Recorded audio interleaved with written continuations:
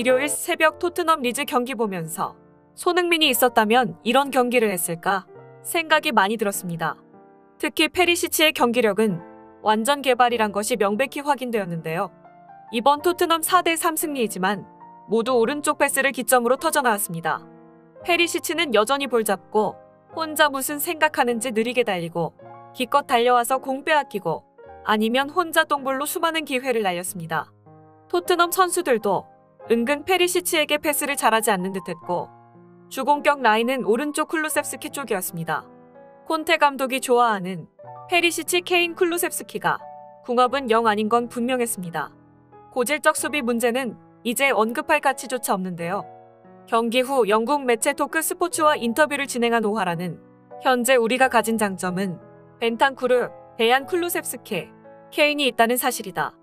아마도 호이비에르도 이 팀에서 뛰는 것을 정당화할 자격이 있을 것이다. 나머지는 충분하지 않다. 산체스는 다시 토트넘을 위해 축구장에 나와서는 안 된다. 그는 발에 시멘트를 바르고 플레이한다. 솔직히 그는 충격적이다. 에스턴 빌라 출신 가브리의 아그볼라오도 에메르송을 비판했습니다. 그는 에메르송은 쓸모가 없다. 39세의 다니 알베스가 에메르송을 제치고 브라질 축구대표팀에 뽑힌 이유가 있다. 왜냐하면 그는 충분하지 않기 때문이다.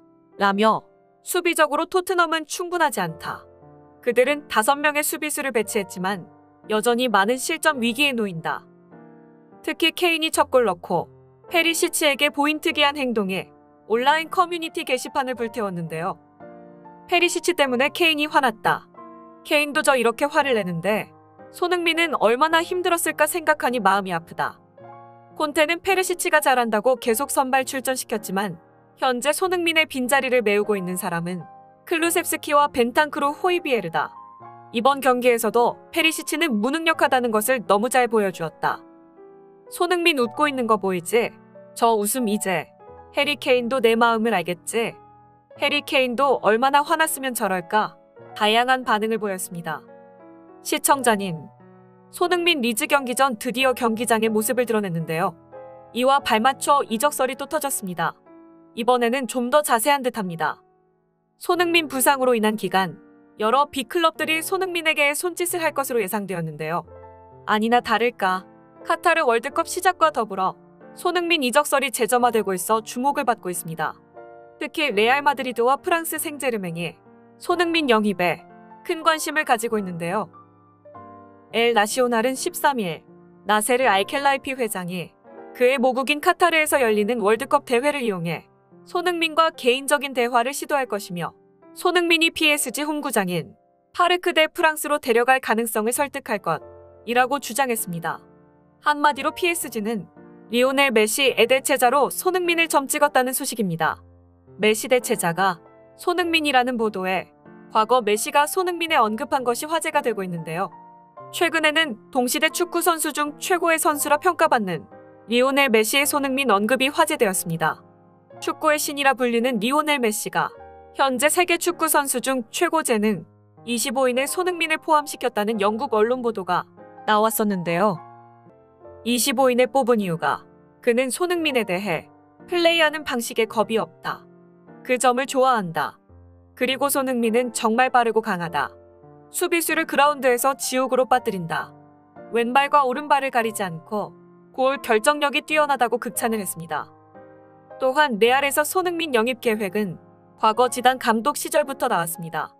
스페인 디펜사 센트럴은 레알의 지단 감독이 손흥민 영입에 큰 관심을 보였다. 지단 감독은 레알 수뇌부의 손흥민 영입을 공식적으로 요청했다.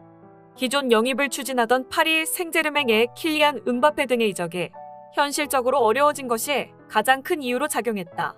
라고 말했습니다. 독일 매체 스포르트 1은 25일 한국 시간 레알 마드리드의 카를로 안첼로티 감독이 손흥민을 지켜보고 있다.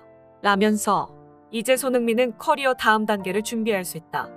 이제는 레알 마드리드와 바르셀로나 스페인과 같은 빅클럽에 어울리는 선수 라고 전했습니다. 이어 이 매체는 레알은 비니시우스 주니어와 호드리고 등 미래가 밝은 선수들을 보유 중이지만 이들은 아직 일관적인 경기력을 보여주지 못하고 있다. 마지막으로 손흥민은 최전방 공격수도 소화할 수 있다.